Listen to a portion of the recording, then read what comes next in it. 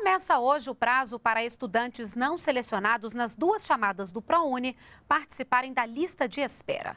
A adesão deve ser feita pela internet e o prazo vai até segunda-feira, dia 29 de julho. Os selecionados vão ter até o dia 7 de agosto para fazer a matrícula. O programa Universidade para Todos oferece bolsas de estudo em instituições particulares de ensino superior.